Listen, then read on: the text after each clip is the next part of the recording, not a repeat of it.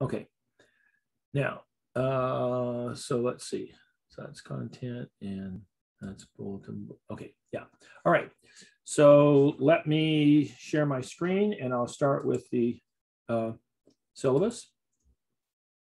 Okay, so so uh, so here we are on the on the ninth, and uh, I'm going to talk about I'm going to talk about timer zero because we're going to use that tomorrow in the lab. By the way, I, I was really pleased. An awful lot of students came to lab this last Friday and uh, got their work done, so that was good. Uh, is if there's anybody, is, is there anybody who doesn't have their board put together yet, or hasn't picked up their board? I know there's a I know there's a few left over, so I'm. But if you haven't, be sure and do that and get it soldered together so you can get caught up. Um, all right, so so we're going to do lab two, and it's going to be we're it's going to be the same blink routine, but we're going to add some things. Uh, we're going to we're going to do the delay instead of a counting loop like we did in the in the delay routine. We're going to do uh, we're going to use the timer zero module in the microprocessor, and we're going to let the timer zero count for us. Now, the way we're going to implement it, it's not going to really help us that much because we're just going to sit there and wait till the timer times out. So we just as well could be counting, but um, but the but but when we use it with the interrupt uh, in lab three, we'll let the timer count and we'll we can go do other things and uh, and you'll see that uh, then when the timer times out, it'll interrupt us and uh, toggle the toggle the LED, and then we'll go back to doing whatever we're doing. Now, what we're actually going to be doing is we're going to use two LEDs, and we're going to do the counting loop for one and the uh, the interrupt routine for the other. So it's kind of you know, it's not like we're doing anything all that all that great, but you'll see that with the interrupt, you can actually be doing other things, and then when the timer times out, uh, automatically it'll uh, it'll update it. And the timer is very is a lot more precise than a timing loop usually because the the timers, um, you know, they're uh, it's it's running on its own in a module, and it's just a little more you know it tends to tends to cause that interrupt on a very precise recurring basis. Uh, whereas sometimes your counting loop uh, could get in, you know, I don't know. Uh, I guess it can be pretty precise too if that's all you're doing. But anyway, okay. So um, so that's what we'll do. So we're going to talk about that, and then I'm also going to talk a little bit more about uh, some specific programming things because um, we want to. Uh, the programming test is coming up on the 28th, so we want to get you all queued up for that. And uh, the not don't worry about the programming test. The lowest grade you can get on it's a 70, and then you can just go up from there. So don't blow it off either. But I want you to uh, I want you to be able to uh, um, absolutely understand uh, how to do several different things. And I think if you just we just uh, we'll cover them in class, and then next week we'll cover them you know in person in class. I think it'll be even more clear and hopefully um, you'll be more than ready for that. So we'll talk about that. Okay, uh, so that's that. Let me get rid of that, and then um, so let's let's talk about it. Uh, the we'll talk about let's see uh, here. Okay, so so uh, so we're going to use timer zero now. Uh, this over here. There, in the in this in this mid-level PIC line, there are some things that that that are basically legacy functions. And timer zero, almost all the microprocessors that PIC ever made had at least one timer in them. And so, so timer zero is not implemented the way, say, timer two, four, and six are implemented uh, because it's kind of a legacy timer. So it has some of its control registers in funny places. Uh, but other than that, it's, you know, very similar to the other timers. Uh, it just has a few couple of special features. And one of those special features we'll use when we do the touch sensing module. All right, so timer zero is an 8-bit timer, uh, which means it, it only counts up to 256. But it also has an 8-bit prescaler, and um, with the 8-bit prescaler, it can count. That allows it to count uh, 256 times before it registers one count, one real count. And then it counts 256 times and then registers the second real count. So it effectively, uh, it effectively counts uh, the same, it counts 65, 64K, just like our counting loop did. Uh, but you'll see that the this that the counter itself, because it it only takes exactly one um, uh, one uh, clock cycle uh, to do to do the counting. Uh, it counts a little bit faster than our counting loop because our counting loop had several instructions in it, and so it takes a few clock cycles. So it's a it's a, just a little bit longer, um, not too much longer, but just a hair longer. I think it, like it has it maybe twice as long. Well, I don't know. Anyway, so you'll see that your light will blink a little faster with the uh, timer zero. Now, obviously, we could change that. We could change our system clock. We could we could call uh, we could call the timer two times before we return, uh, and we can do lots of different things. Um, when so we'll we'll look at how this timer is put together, but it has a so it has an eight bit counter with an eight bit prescaler, and uh, many timers do have prescalers in microprocessors. Uh, so not all of them. Some of them just have a lot of like like a 32-bit counter probably doesn't need a prescaler. Um, you can ha- the clock source for your time timer zero counter can actually come from your your your internal clock, which we're running the you know uh, running our microprocessor on. Now let me just say a couple of things that that let me um, let me add this. So we talk about we talk about our, our, our internal clock and we call it we call it FOS. And we set FOS at four megahertz by writing uh, six alpha zero X six alpha into OSCON. And that's how we set up the four megahertz clock. But each instruction is executed at what's called FOS divided by four. And so FOS divided by four is one megahertz. Now, when you use the system clock, most of the time, this is the clock you get. You get FOS divided by four. So we actually get the one megahertz clock.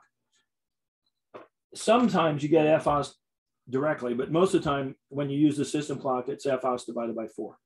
And, and that's because each instruction executes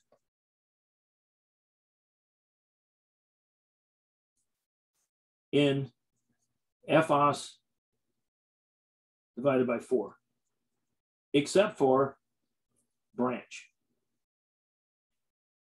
instructions. And that would be call, and that would be BRA and go to. These, these take two clock, uh, two FOS divided by four times two takes two. of a, so so these take these take two microseconds when we're running at four megahertz for FOS and one megahertz for FOS divided by four. So it takes two microseconds, but all the other instructions take one microsecond. So we're executing most of the time a million instructions per second. And so that's that that so that's uh so that keeps us moving along pretty quickly. And our counter is going to count, well, the prescaler will tick at, at a million times a second, which means every, every uh, 256 microseconds will record one tick of our actual 8-bit counter. So it's basically 256 uh, microseconds times 256, and that that's going to be 64k microseconds. That's going to be uh, our our delay, the way it's set up here. Now you could you can set it up differently, but that's how we that's how we're setting it up. You can also drive your timer zero with an external with one of your pins, and you can connect an external uh, square wave and even choose which edge you want to count as the clock so that you can count external pulses. And this actually can be very useful if you're trying to count an external event. Let's say you have a, uh, let's say you have a little photocell and every time somebody walks past it, it triggers the photocell. so you could set your timer up to count those events. And uh, now with an 8-bit counter, you can only count up to 256. Now you can use the prescaler, but then you you don't know where what you don't know how many you don't know where the prescaler is. So you're so so your count is always plus or minus 256, right? Uh, but you can do that. Of course, you can you could use timer one as a 16-bit counter. You could use that. That would let you count more. Um, and you can also use timer zero to trigger timer one, which is kind of interesting. Uh, we're going to look at this module in just a second in the data sheet, uh, which I didn't bring up yet. I'll do that. And what we'll see is that, uh, well, maybe let's see, let's see if I put it in here. Mm, no, okay. Let me let me go. Let me go do the data sheet. So I'm going to I'll shrink this down, and I wanted to pull up the data sheet. I knew I'd forgotten one little thing. Oops. And where's my data sheet?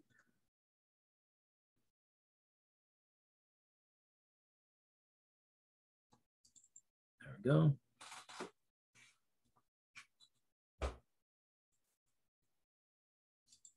Okay, so if we go down to timer zero, and you should read, you should read this, uh, this little section in the, uh, okay, I know it's here.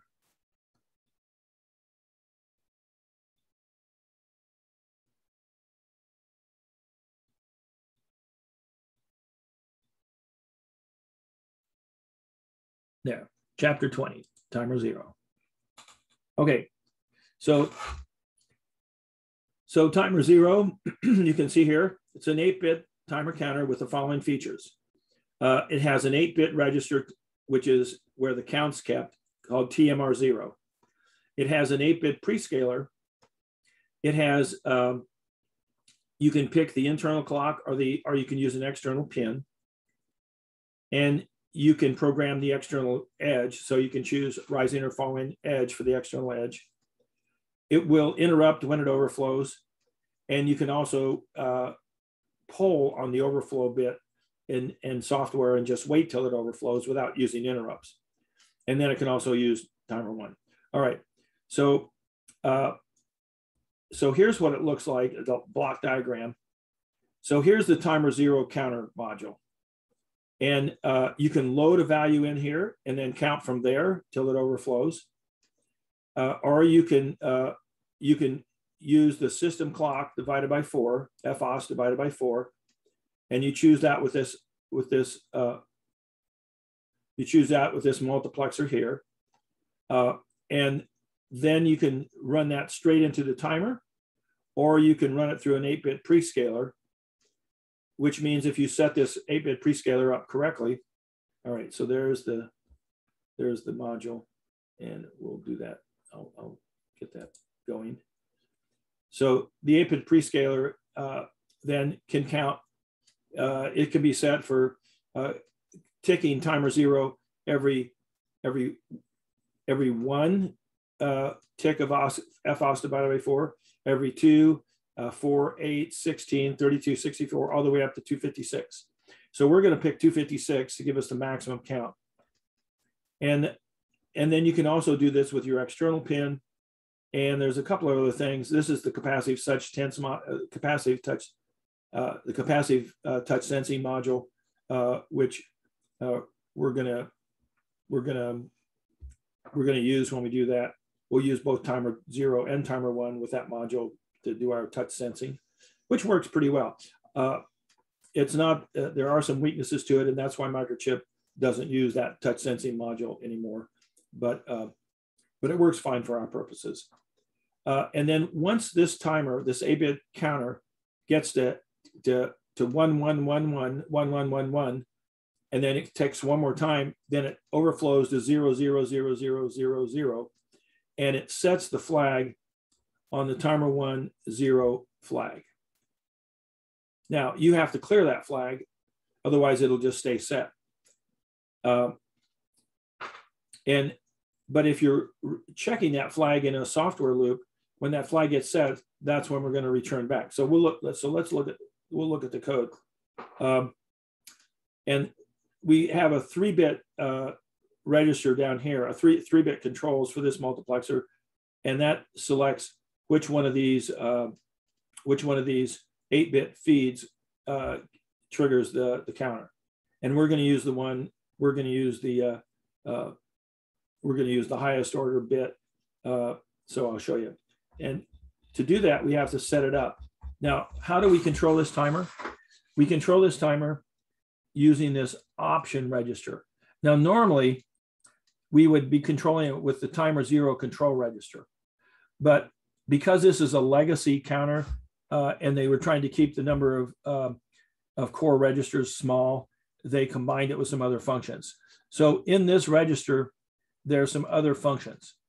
Uh, so uh, only a few of these things actually refer to the timer uh, zero. This is the weak pull up enable bit.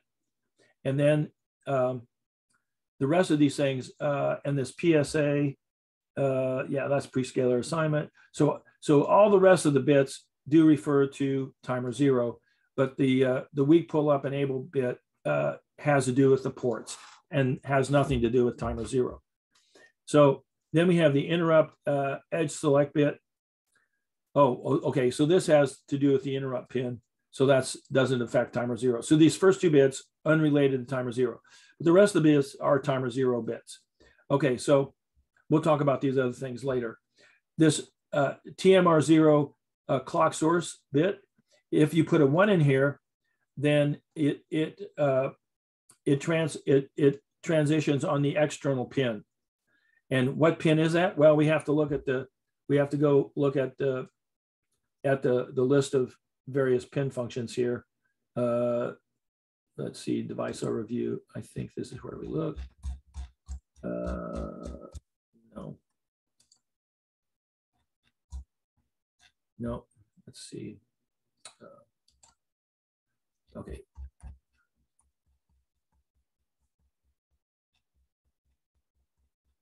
Maybe I'm still looking in the wrong place. I think I am. Okay, yeah, table of contents. I think that's where I have to look. Yeah, here it is. So, so this is this is our uh, this is the list of all the functions, and our chip is the uh, the SOIC. So it's in this column right here. So these are the actual pin numbers, which don't really matter, but these are the the names, and that's really that's how the the headers are listed anyway. So it's okay. And if we're looking now for the uh,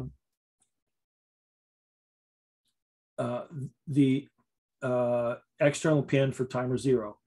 And let's see, uh, it should say here, interrupt timers. Uh, yeah, so timer zero uh, clock in. Um, so this is the pin, so it's RA2. So, so uh, pin two and port A would be the timer zero input pin if we set that up.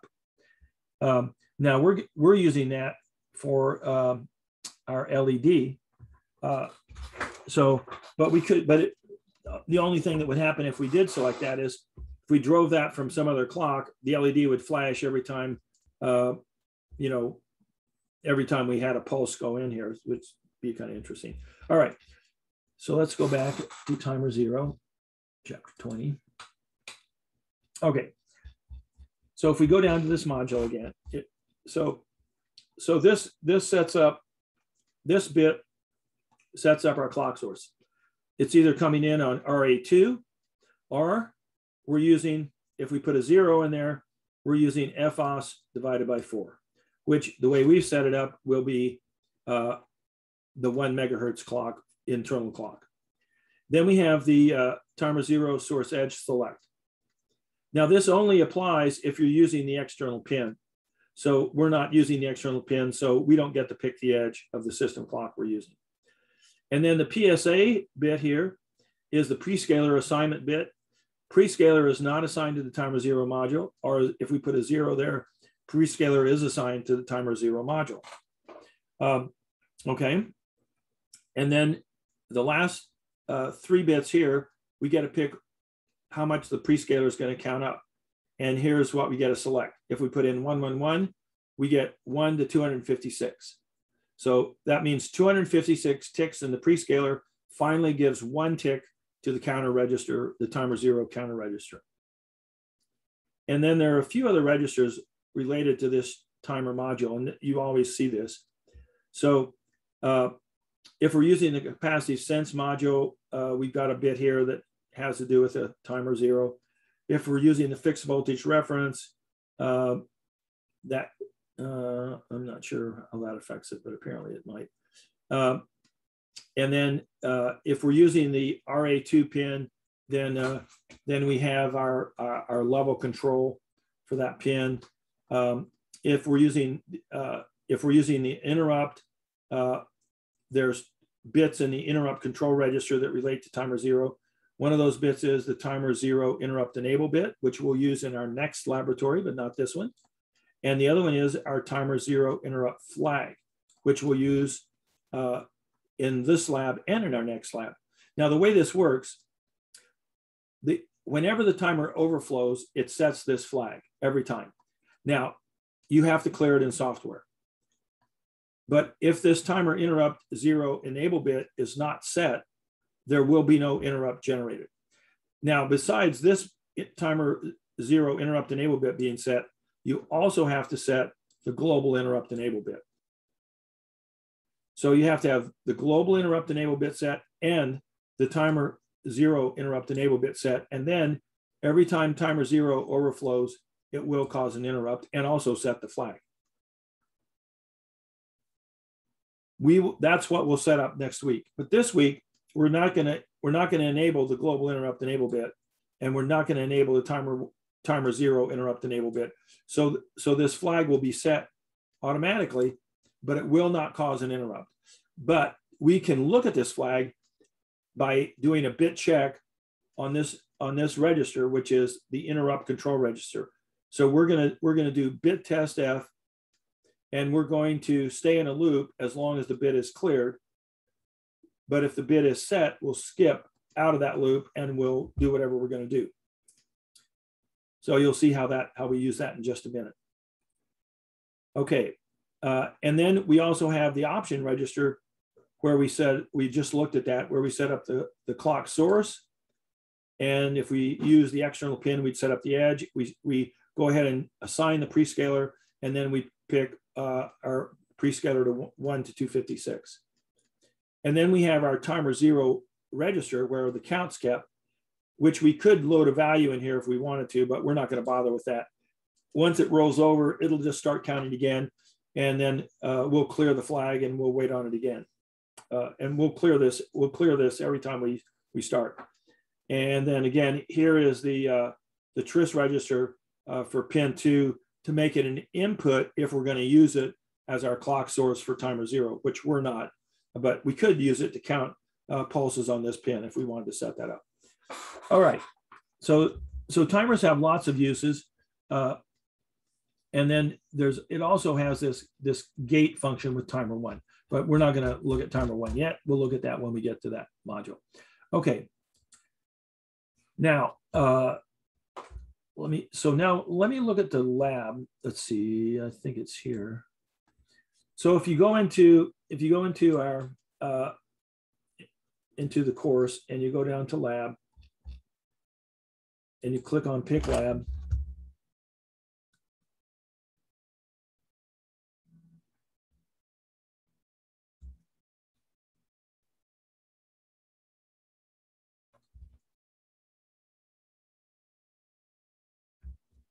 uh, and you and you go down to lab uh, uh, two, then you can look at this uh, this uh, this lab two uh, blink LED timer zero PDF, and that's what we're going to look at here.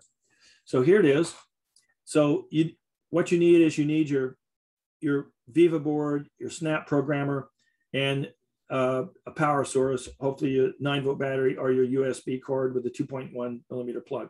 Again, if you want to find an old 2. Point, uh, an old USB plug, and uh, so you can power it off of your laptop or, or a plug-in USB uh, plug. Uh, I'll give you another plug if you want, and you can make one of those yourself. Um, okay, so the purpose of this lab is to understand how to use uh, this built-in module. And, um, and so you should read through all this. You should read through timer zero and you should look, this is the same register that we just looked at. And here's where we set the prescaler. We just looked at that too. The clock source, it explains all those things. So you should read through that. There's the block diagram again. And then we're also going to use the RB7 push button. So we'll talk about that in a minute. Uh, okay, so so now I want to look at the code. Well, let me let's look at the push button real quick, and then we'll look at the code. So this unfortunately is not the best uh, picture, but uh, it's a little fuzzy. So here's our push button right here. And it, it's actually a double, it's a single throw, uh, it's a double pole single throw switch.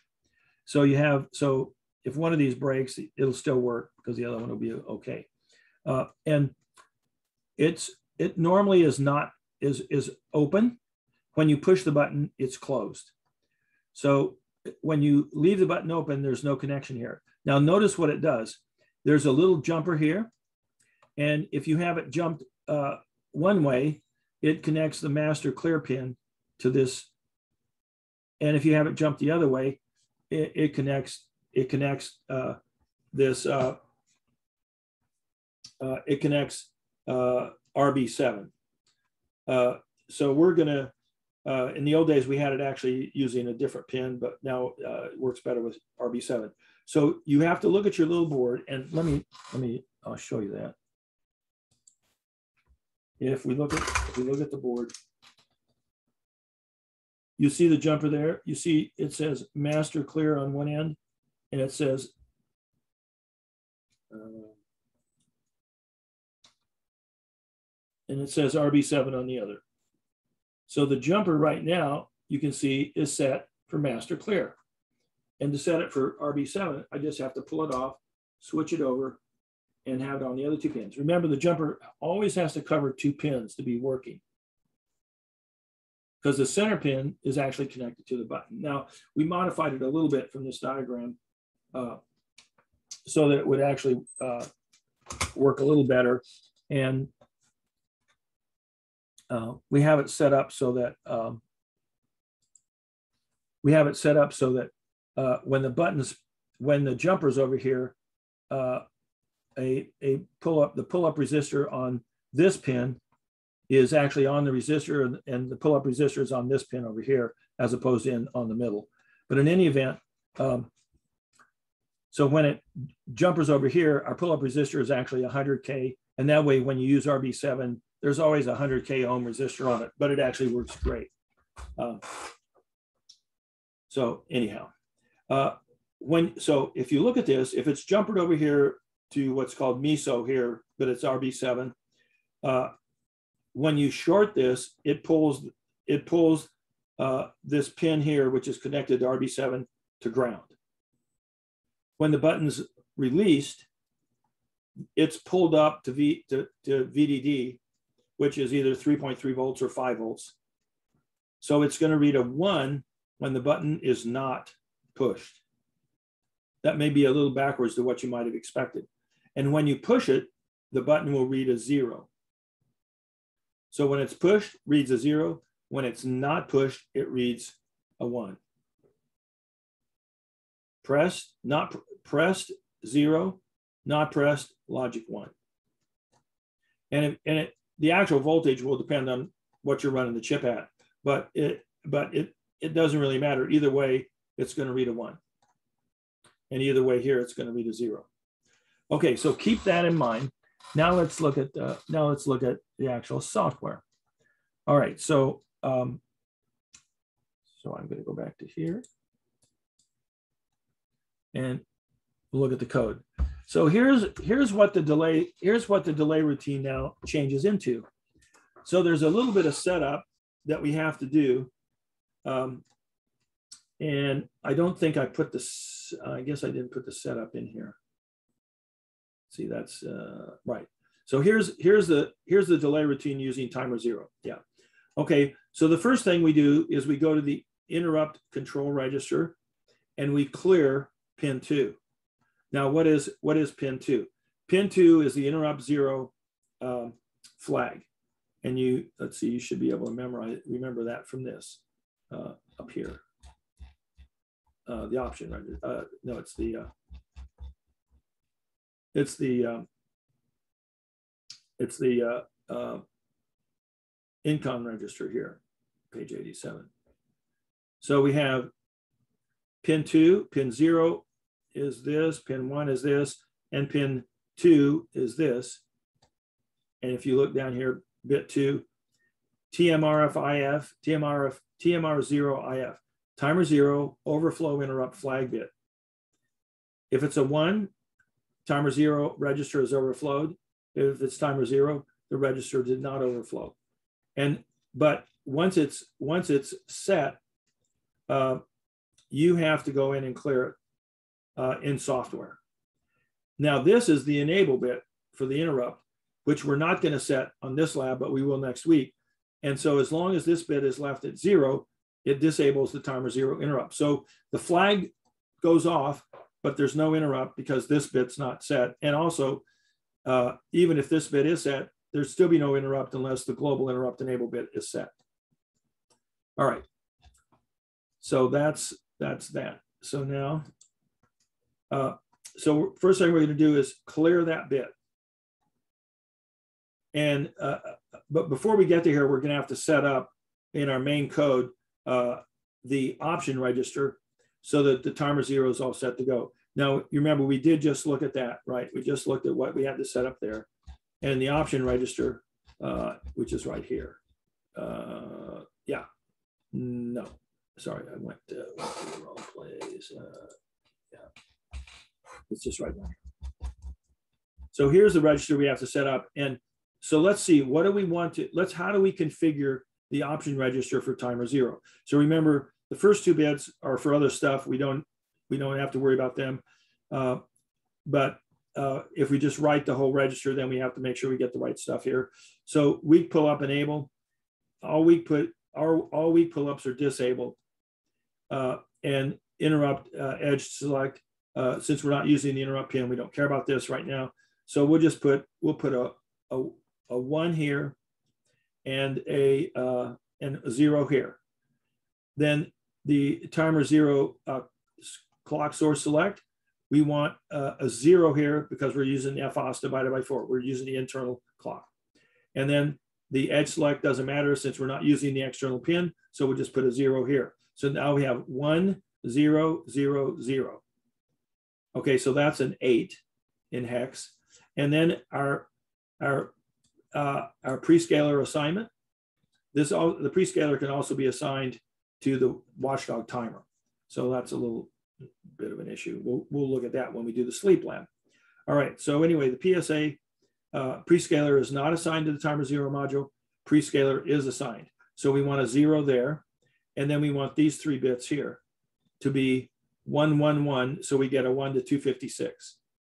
So the final value is going to be 1, 0, 0, 0, 0, right? PSA, right? Z is assigned. Yes, zero, one, one, one. So that's eight, seven hex, zero X eight, seven. So we want to write a, a hex 87 into the option register. And that's what we'll do. And I think we show that uh, in this code here. Uh, let's see. Um, uh, we want to set this up. We're going to bank select the option register. We're going to move uh, literal to W 0x87, and we're going to move W to F option register. So we're going to, that's going to set up the timer zero. But each time we actually do our delay routine, the first thing we're going to do is clear the flag. And then we're also going to banksel the actual register and we're going to put a one in it.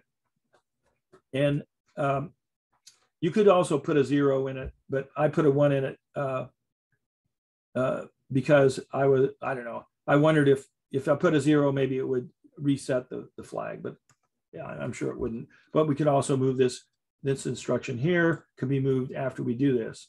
That would also be possible. All right, so once we do all this, we now have timer register starting from zero. So really, we're just going to count 255 times, not 256 times. And uh, and so we go down here to T loop, and we do bit test F skip, skip clear and the intcon register. Now notice we already bank celled it up here before the loop. So as long as we stay in this loop, we don't have to banksel it again. And we're bit test it, and uh, we're going to bit test bit two. That's the that's the that's the uh, the overflow flag for uh, timer zero, and it we call that the timer zero interrupt uh, flag register, okay, or flag bit. So so we're going to test it. Remember, it's cleared until it's cleared until the, the, the timer overflows. When the timer overflows, that bit will be set. So if it's clear, we're going to skip the next instruction and do go to loop. We go up here to T loop and we do it again. And we just stay in this tight little loop here until the bit is finally set. When it's set, we don't skip and we hit this return and we return from our little delay subroutine. So now we're just going to substitute that. We're just going to, in, instead of doing a call to our original subroutine, which you can leave in your program, by the way, because you'll need it for the, the next lab. So instead of instead of return instead of returning or instead of calling the regular delay routine, we're going to call delay two instead. And when you return, you just go back in your code like you did with your other delay routine. All right. Now let's see. Uh, so so that's that's how we're going to change. Now, the other thing we're going to do differently is we're going to use the uh, we're going to use the the the, uh, the push button, and uh, here's here's how we can do the push button. We can do uh, we can test we can banksel port B, and then we can do bit test F skip set port B comma seven. If it's set, then we'll just drop through. But if it's punched, if the button is pushed, then we it won't be set. We won't skip, and you'll hit and you can do this branch to wherever you're going to jump. And this is this is going to this you have to figure out how to use this to uh, either leave your leave your cause your your your uh, blinking LED to either stop blinking and be in the off state or stop blinking and be in the on state, or depending on when you punch the button, to be in one state or the other and you might have to put in this little snippet of code two times. Remember, once you change this banksel, whatever comes after this, you have to banksel that location in order to in order to use any other special function register or random access location. All right, so let's see, I think, uh, yeah,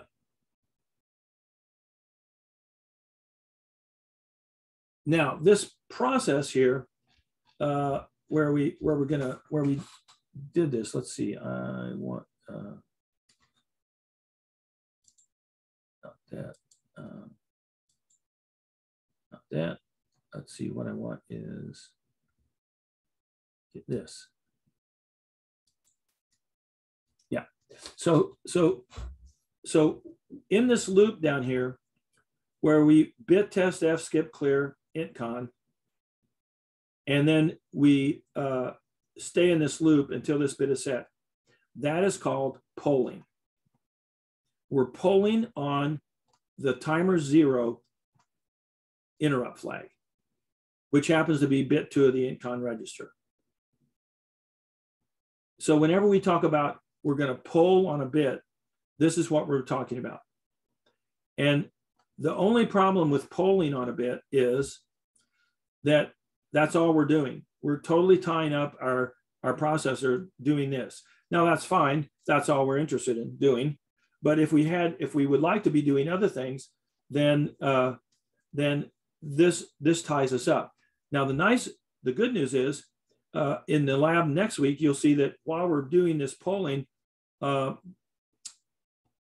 uh, well, we won't be polling on it. What we'll be doing in, in the other loop will be uh, we'll be just continuing the original lab one, but this will be going on in the background, not this polling, but but the uh, the interrupt flag will get set when timer zero overflows, and it'll cause an interrupt. And then we'll be in our interrupt routine, and that's where we'll blink the other LED. So we'll have two LEDs being blinked at two totally different rates, one using a counting loop and the other using timer zero using an interrupt. Uh, but when we pull on a bit, we're pretty much, that's all we're doing. And that's true in the counting loop too. We're just counting in the counting loop. All right. So um, yeah, I think, and I think I'm gonna, okay, I think I'm done with that.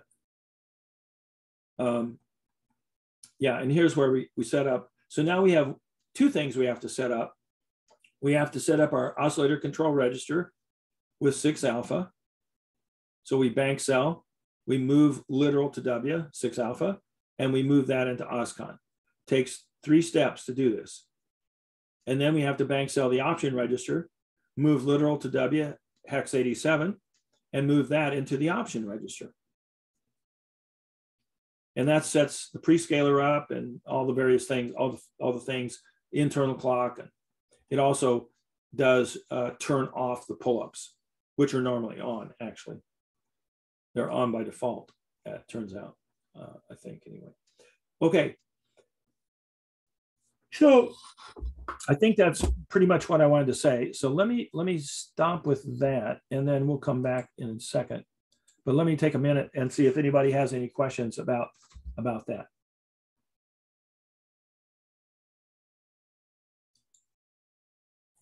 Yes, Dr. Moore, for the prescaler, so whatever you set the prescaler bit to be, it's going to count up to that number. And then once it counts up to that number, then it adds a tick to the timer. Yes. Okay. That's right. And it's it, and it's only powers of two. So if you go back and look at, uh, let's see if we go back and look at that uh, in here. So I'll share that screen again. Yeah, you can see you get you get a you get 2, 4, 8, 16, 32, 64, 128 or 256. Those are your choices. So you can't make it you can't you, you can't make it 46 for instance or anything else. Those, only these powers of 2 are your choices.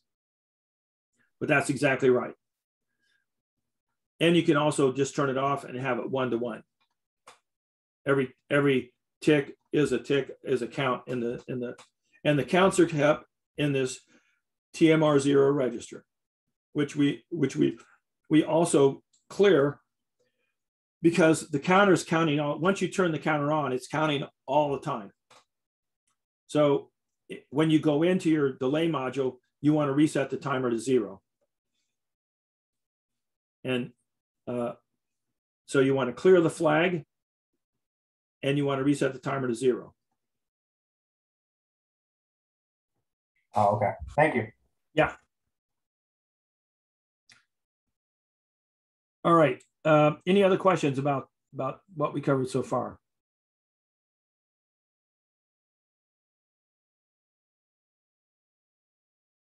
Yeah, I yeah I will. Uh, somebody I see somebody yes, I will upload, I'll upload this lecture. It takes a little bit to convert and then I put it on YouTube. It takes it a few minutes, you know, a little while to get it all done.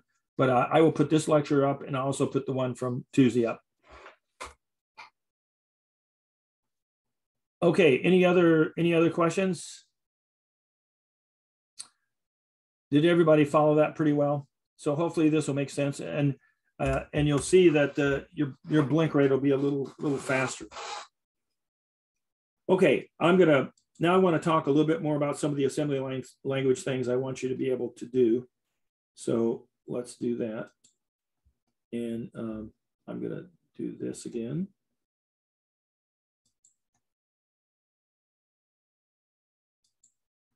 And let's see, I wanna, wanna make sure. So yeah.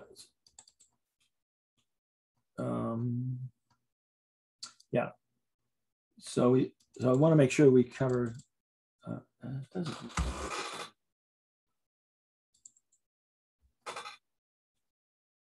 so we've we've so I want you to make sure you understand these key instructions. There's no they can all be uppercase, lowercase, doesn't matter. I for some reason I wrote this with like this and these like this, doesn't matter. So I want you to remember uh, we have our byte-oriented instructions, and most of them take two operands, but this MOV WF only takes one operand, and then our little instructions only take one operand. Okay, and uh, so then if we if we go back and we we look at uh, our uh, instruction set, which we'll go down here to 29. So, so now I want to talk a little bit about, we, we talked about it already, but I want to talk about this bit test F skip clear, bit test F skip set. Uh, and we'll talk about it in the context of, of our push button. All right, so let me bring in this. So when we when we use um,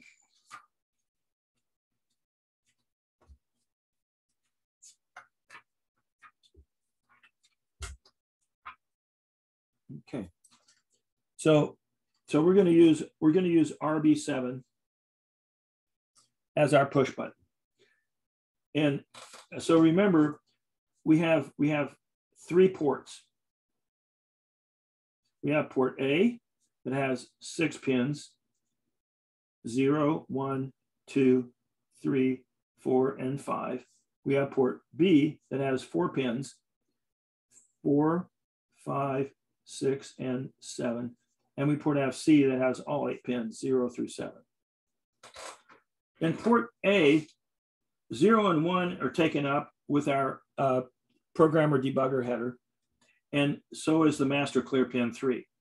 So we really only have three pins that we can use in port A without uh, without limiting our, our debug capabilities. We could use other, those other pins and there, there are plenty of ways of doing it. We could still program the device and then we could put a jumper back, uh, take off a jumper, put a jumper on and, uh, and reuse them for some other function. That, that's totally legal. Uh, but we do not have to do that because we're not that tight on pins. Okay. and then we have four pins in port B and pin seven is connected to the push button on, uh, it, with that jumper. So it, it can be jumpered to the push button or it can be jumpered to the master clear. Those are the choices with that jumper. Now, if you want it for the master clear, whenever you push it, you reset the chip. And strangely enough, sometimes if you leave it in the master clear position, you may think it's working because it actually is resetting the chip. So it will stop the blinking light and whatnot as long as you hold it, the chip's in reset.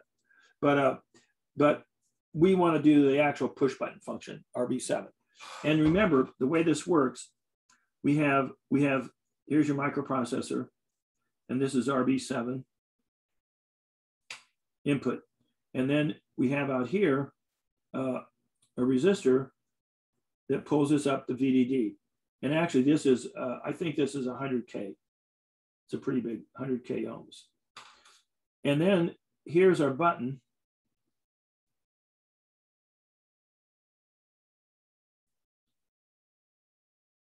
And then this is to ground. So when the button is pushed and this is closed, we're grounding RB7. When this is open, we're pulling RB7 up to VDD with this fairly high value resistor. So, so pushed, it's a logic zero not pushed, it's a logic one. So, so you have to remember this in order to get this right. Now, we can, what, what we do is, first we have to configure it for an input, which means we have to have tris B7 equal to one. Now it is by default. And then we also have to clear for it to be digital, we have to we have to we have to clear the ANSEL bit. Now it turns out that RB7 does not have an analog function, so therefore it does not have an ANSEL bit. Uh, it's an ANSEL B, ANSEL B. So there's actually not an ANSEL, uh, the ANSEL B register doesn't have a bit, doesn't, doesn't, isn't implemented in the uh, in the in the in the bit four position. And of course, since there's only four, since zero, one, two, three aren't implemented either, so there's nothing in zero, one, two, and three. Five, I believe, uh, uh, I believe, uh, I think, I think, I forget which ones are implemented, but to find out, it's easy to do. We just go to the data sheet and we go down to our ports, IO ports, and we go down to the B, and actually we just have to go to Ansel B register and we'll figure it out. And we'll look at all these registers eventually here. So here's port B uh, coming up, I think. Port A, port A, port A, port A, lat A, and we pull-ups, okay. And that's register. Okay, now we have port B.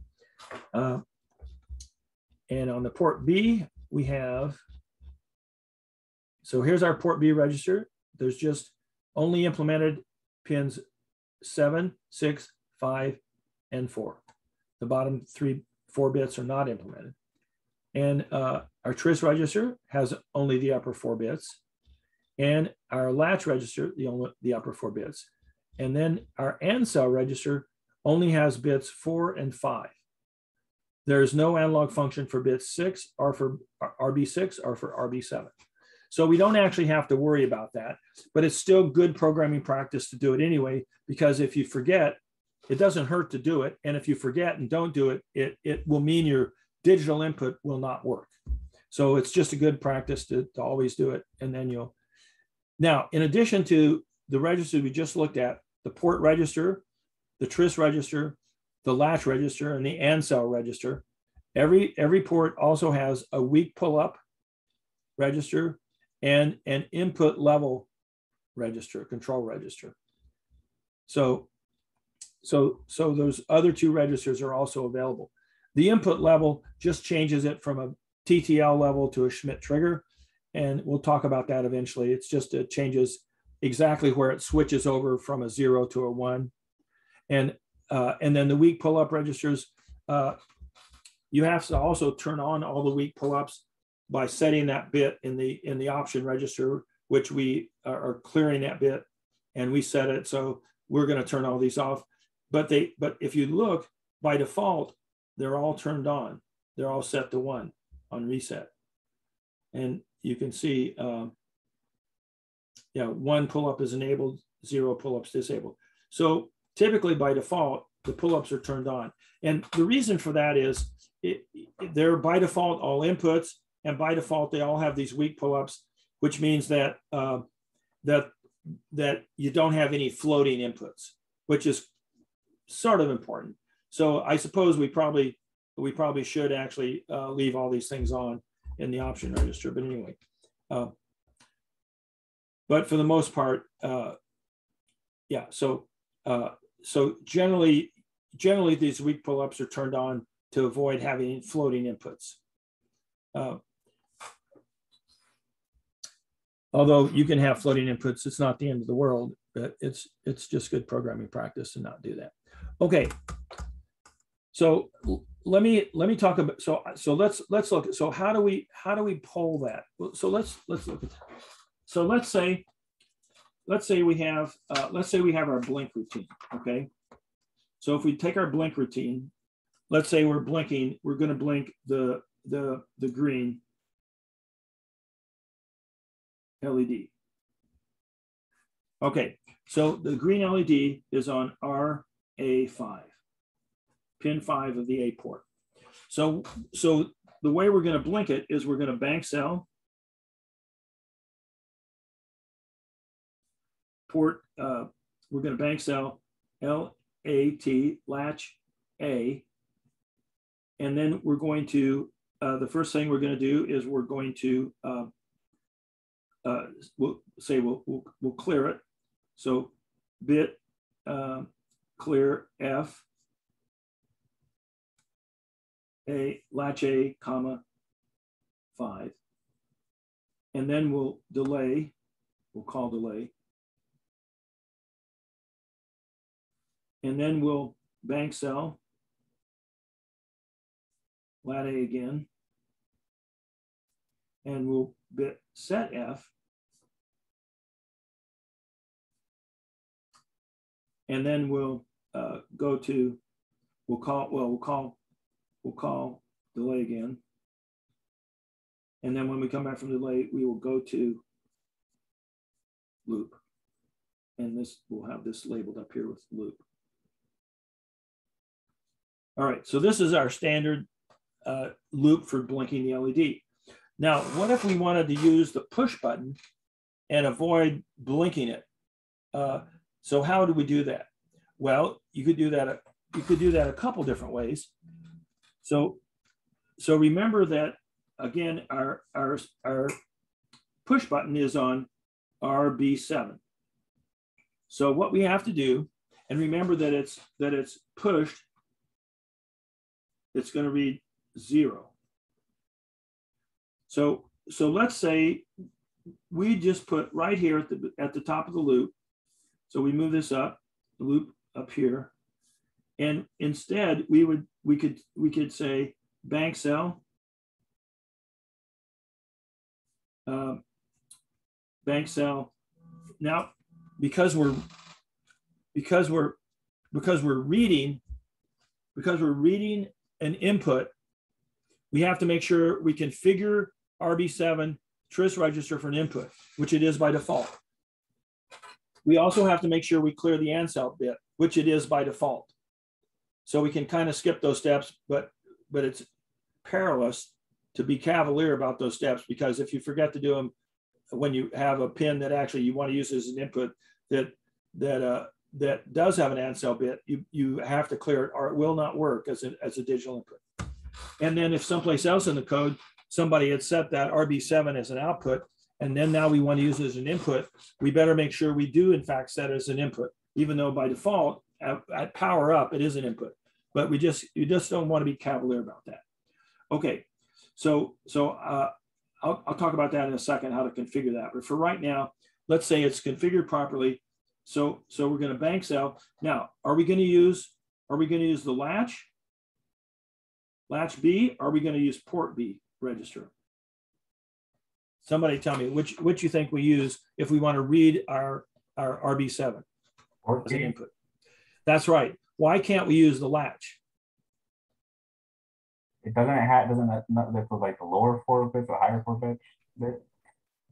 Okay, so let's, if we go back to the data sheet and we look at our ports right here, what, uh, let's see, uh, let's look at the register actually. This little diagram tells you everything you need to know about this. Notice when we write the latch, that lat A or lat B or lat C, we're actually writing the flip-flop. And we're reading the latch right here. We're gating the output of the flip-flop to the data bus. So we're reading the flip-flop. So the latch writes and reads the flip-flop. When we write the port, it writes the flip-flop too. But when we read the port, it gates the input pin onto the data bus, assuming that the ANSEL bit is set correctly. So we have to be very careful not, not to, uh, when we want to read, we have to read the port.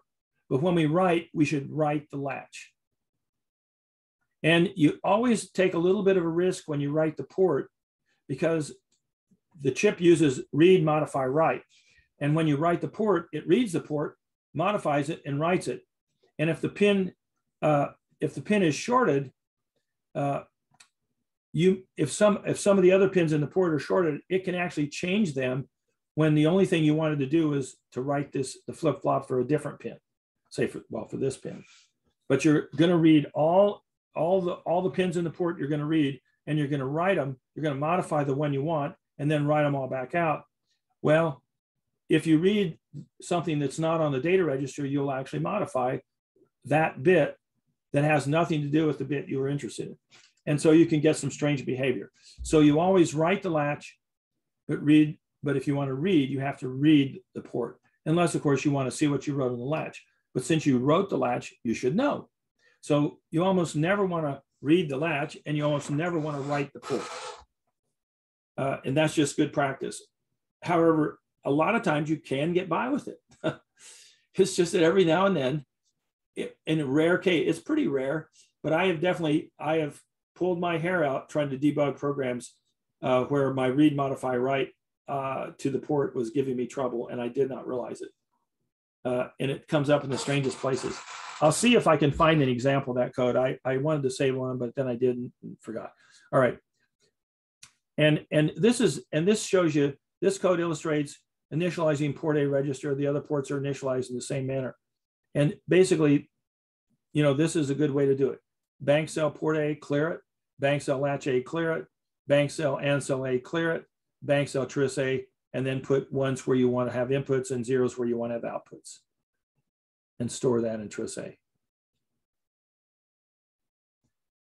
And here's how they here's how they do that. Uh, I've never I've not seen that notation, but anyway, I guess that's old notation. We normally just write B uh, and then the ones, the zero ones and zeros. You don't have to put the quotes in. Interesting. They probably wrote this in data sheets years ago and they just never updated it. But I, I assume this would still work though, interestingly. I didn't even see that. And notice uh, five and three are inputs and two and two through zero are outputs. Of course, we're not we're we're not using zero and one except for our debug header. So uh, yeah, so we don't have to worry about that. Okay, so this is really the diagram you need to have burned in your brain to, under, to make sure you really understand how these ports work. And of course, the tris bit turns on or off this, this uh, buffer. So it either connects or disconnects the flip-flop from the pin. Output connected, input disconnected. Okay, so back to our code. So, so what this lets us do then is if we put if we put in so what we're going to do assuming we have rb7 configured as an input digital input then we banksel uh,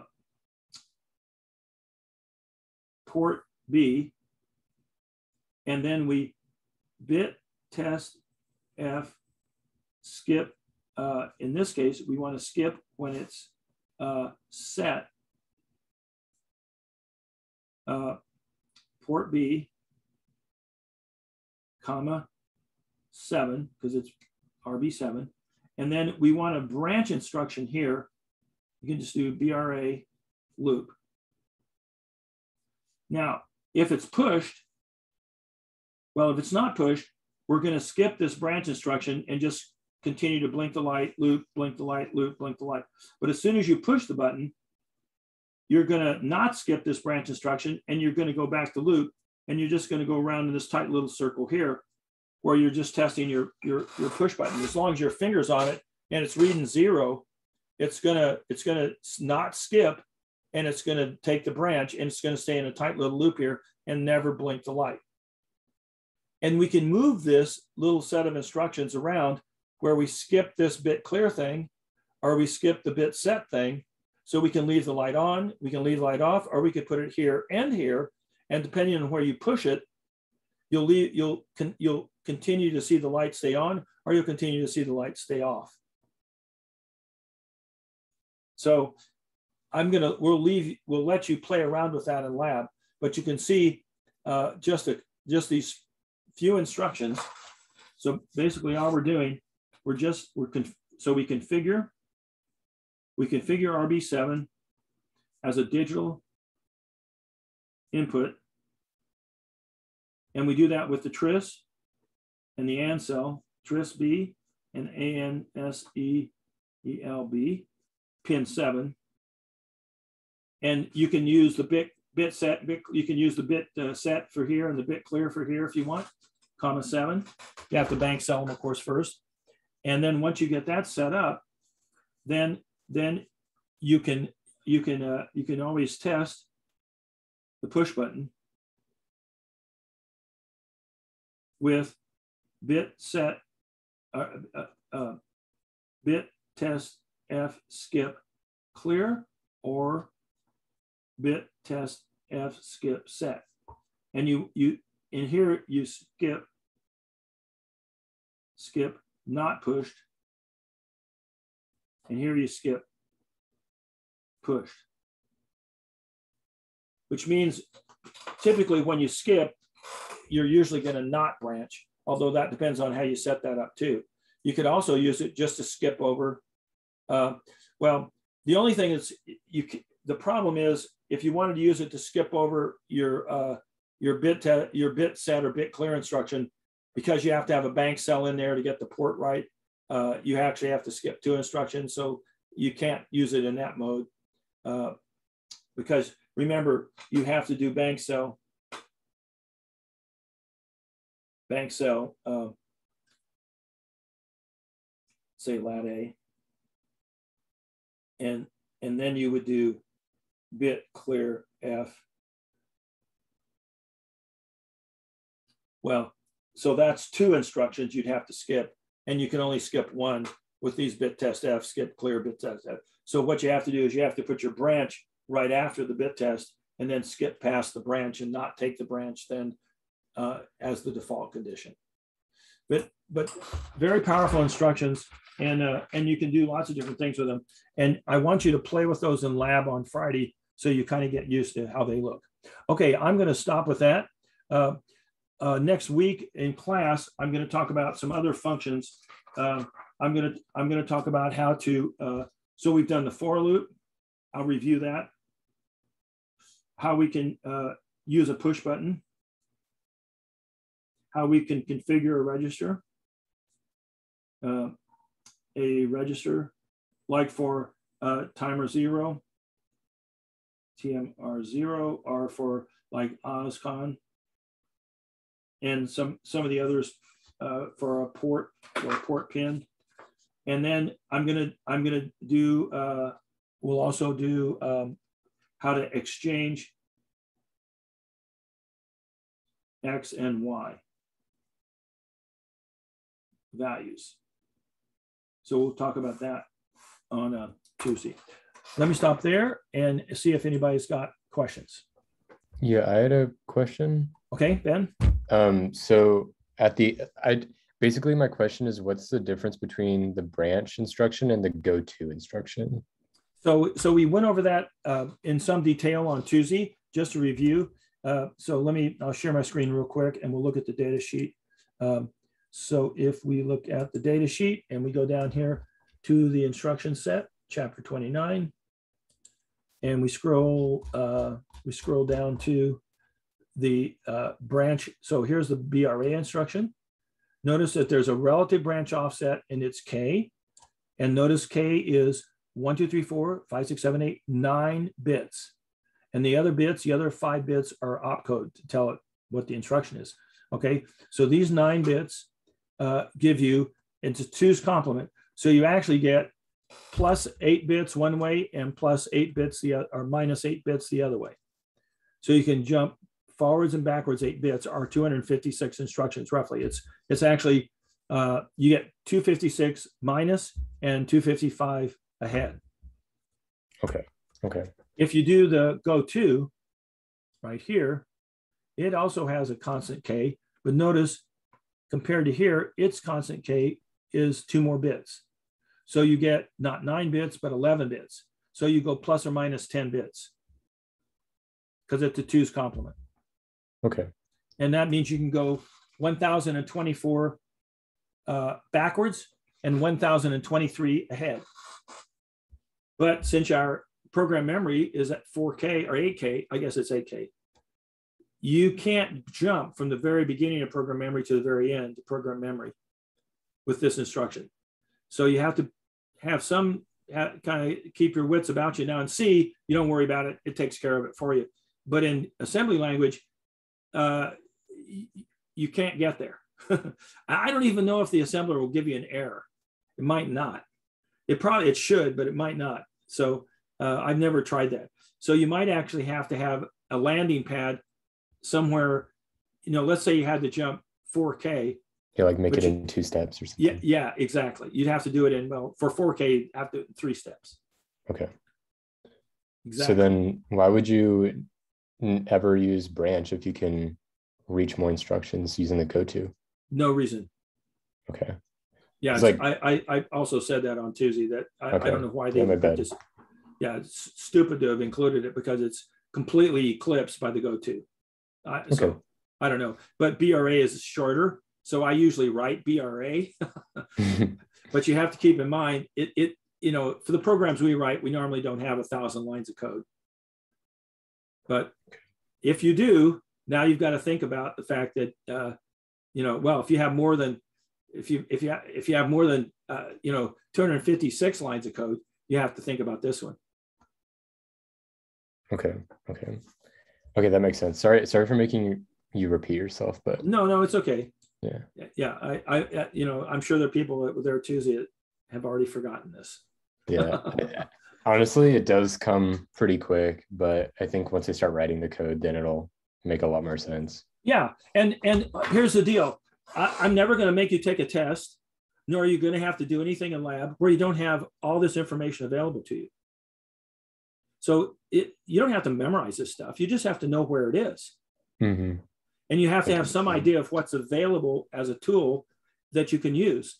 And once you kind of get that, then you then you can take off and you know and and and, and basically uh, you know code to your heart's content. And it's fun to use all these things. I mean, you know, like the one that gets misused is this swap F, uh, and this is swap nibbles. It's the swap the lower four bits with the upper four bits. It's not the swap uh, X location with Y location. So when we do the, when we exchange X and Y, we can't use this. But we, it's, I use it extensively when I wrote the, the driver for the, uh, for the LCD because the LCD only uses four bits to control the, the LCD, the, the liquid crystal display. And uh, you have, so you have to move nibbles all around all the time with that. And this is great for that. But uh, it's not particularly useful for anything else. Okay, cool. So you're basically like teaching us how to teach ourselves. That's it. Yeah. Yeah, I'm trying to teach you how to fish. Yeah. yeah. okay, cool. Thank you. Yeah, I forget what that was the other day. Uh, something really stupid about teaching people to fish, as opposed to giving them a fish. All right. Okay. So with that, uh, any other questions? Everybody good? I will post both the videos. Uh, I have a question pertaining to DSD. Yeah, go ahead, Josh. Um, will there be class tomorrow morning or? Yeah, good question. Yeah, I uh, so you know what? Um, maybe I'll send out an email today, and I, we're a little bit behind, so I, I, guess I'll do a class. I'll do a class at nine. Yeah. Okay. Thank you. I'll, I'll do one. I'll send out an email uh, at, right now and tell everybody to we'll do class tomorrow. Yeah because we, we kind of we're just a hair behind. I want to want to finish up the chapter two and get going on the review of logic design. Okay, we'll see. Uh, we'll see you guys in. oh, one other uh, thing, I do want everybody to show up. I'm going to send out an email, but I'll probably give you. I'd like the whole class to be there on Tuesday if possible, um, and I'll I'll send out an email. I'll give you one free course point for showing up on Tuesday in person. All right, Dr. Morton. Yeah. Um, can you go over homework two real quick? Oh, okay. Yeah, I said I would. So let's do that. Uh, okay. Uh, let's see. Where am I? Here. No, here. Okay. Yeah. So I want content.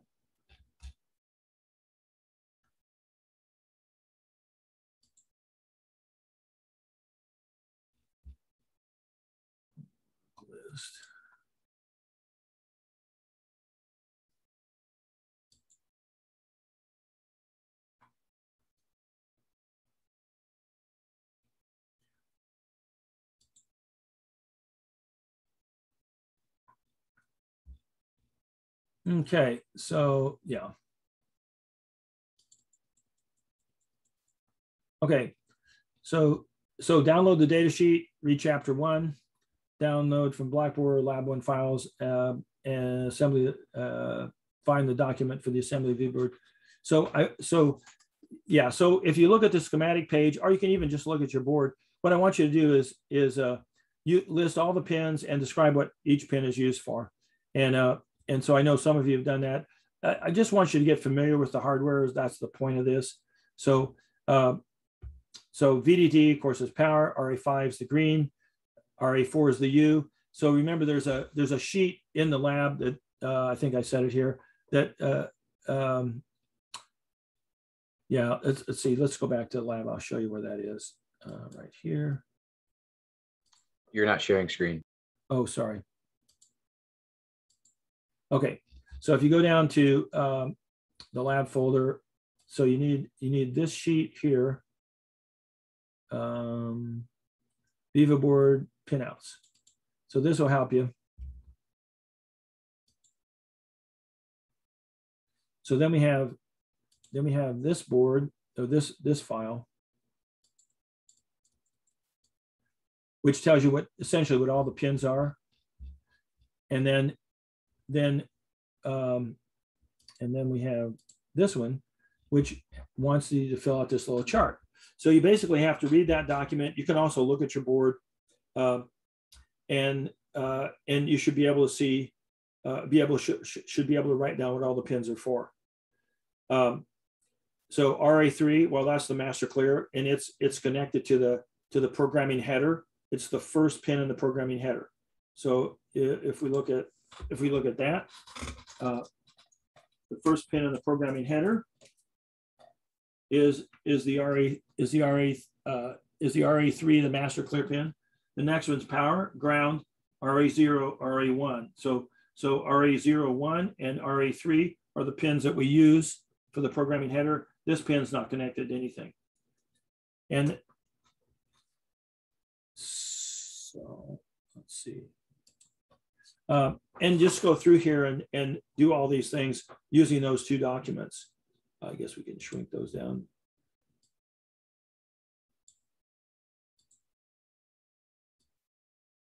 So you can see the LEDs RA5, RA2. So RA, uh, let's see, uh, didn't have RA, oh, RA2. That's the, uh, the blue LED. RC6, the red LED. Um, then RB4 and RB6 are your, inter, your I2C interface. They both have two pull-up resistors on them. And then you have uh, your, uh, these are the PWM outputs you can use, RC5, RC2, RA2, and RC6. Notice that all, so three of these are this are, can be the same as your three LEDs. That's why you can control your three LEDs. Um, and then uh, let's see, uh, that's the end of it. And then if we look at, uh, uh, of course, RA0 and RA1 are the programmer header, as well as RA3, the PICkit, well, uh, the snap head. The push button is our RB7. It's connected to the push button. Well, it's connected to the three pin jumper and you can jump it to the push button. Uh, and then our four touch pads that spell out UTSA RA4, RC6, RC1, and RC0, RC7, and R. So RA4 here, and then RC7, and then uh, RC2, and uh, RC1 and 0. And then uh, your analog header has three analog pins on it. The analog header is uh, is is this header right here. And if you look, you can see, if we look and and look at those pins, you can see they're labeled. RC2 is AN6, RC3 is AN7, and RB5 is AN11. Now, the reason those AN numbers come into play has, has to do with the, the data sheet. And if we go back up here to the, to the uh, where we list all the pins, uh, I think it's here to go up. Oh, table of contents. Oh, there, this is the one. I always forget which one it is here. So if here's our A to D inputs, AN0, AN1, AN2. So AN0 is RE0, AN1 is RE1. Of course, we're using those for our debug header. So AN2 is RA2, AN3 is RA4, AN10 is RB4, AN11 is RB5, AN4 is RC0, AN5 is RC1, AN6 is RC2, AN7 is RC3, AN8 is RC6 and AN9 is RC7. So when you look at the at that on the on the board, you're basically seeing you're basically seeing those uh, those AN numbers correspond to RC2, RC3, and RB5. So when we plug in our analog module here and we uh, and we plug this sucker in and we we actually have our temperature sensor, our photo our photo sensor and our pot. One of them will be on RC3, one will be on RC2, and one will be on RB5. Uh, according to, so temp will be on RB, RC2, the light on RC3, and the pot on RB5, and so forth. So, um, yeah, let's see, and that. So basically you just keep filling all these in. Um, and so that's the analog header. And then these last two, RC4 and 5, 4 and 5 are connected to the, the, the, uh, the CP2102 header, which is right here. And those are MCU TX and MCU RX for the uh, UART. And then we also have 3.3 volts and 5 volts, uh, which actually go to our switch. And in the down position, you can jumper select which one of those you want to, to, run, the, to run the chip. And then DTR is not connected. And of course, ground is to ground. But we don't connect DTR. And then uh, we could, you could, we could work that out if we wanted to, but we don't.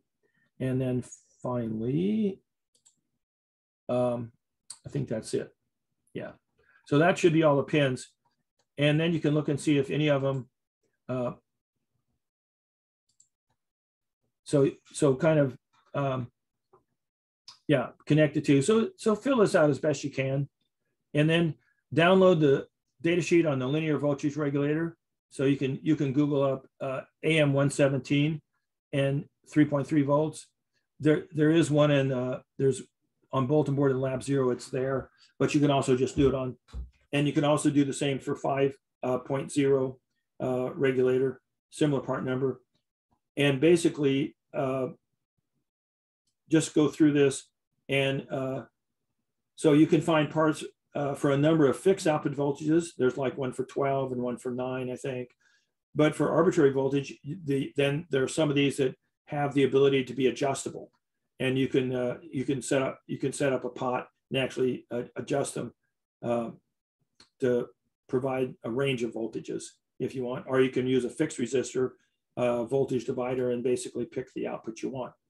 And uh, so looking at the data sheet, how is this part described in the data sheet at the top as far as what kind of, a, what type of regulator is it and what's the normal current capacity? List the maximum current you can draw there's usually a min, typical, max values listed. Use the typical and the minimum input voltage for the 3.3 volt device. So what, what's the minimum input voltage you can put in to get 3.3 volts out?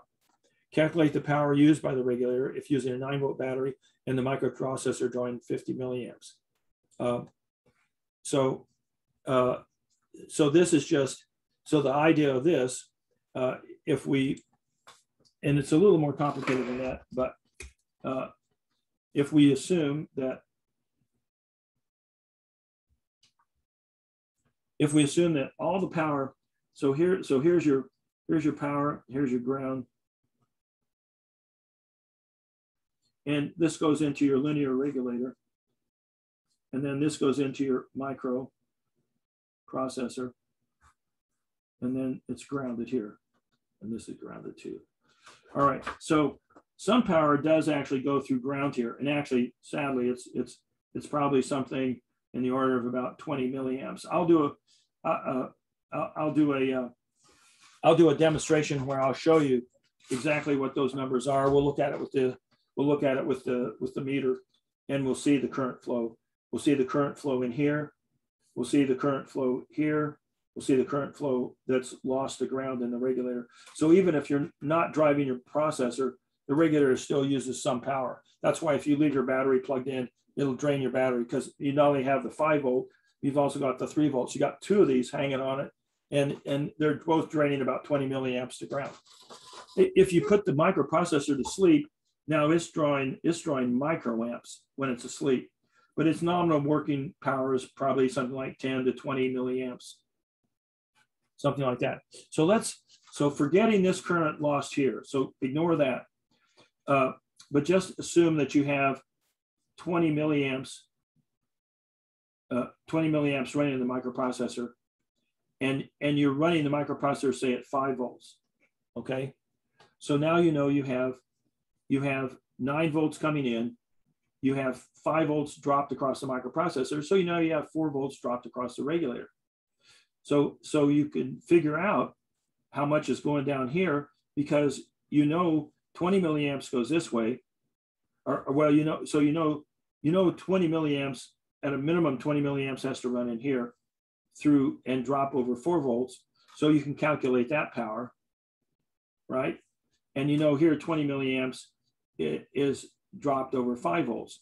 So, so you know that, so you can multiply your, your, your, your current times your, times your voltage and you can calculate the power here and you can calculate the power there, forgetting the fact that there's some wasted power uh, that, that's going straight to ground from the regulator.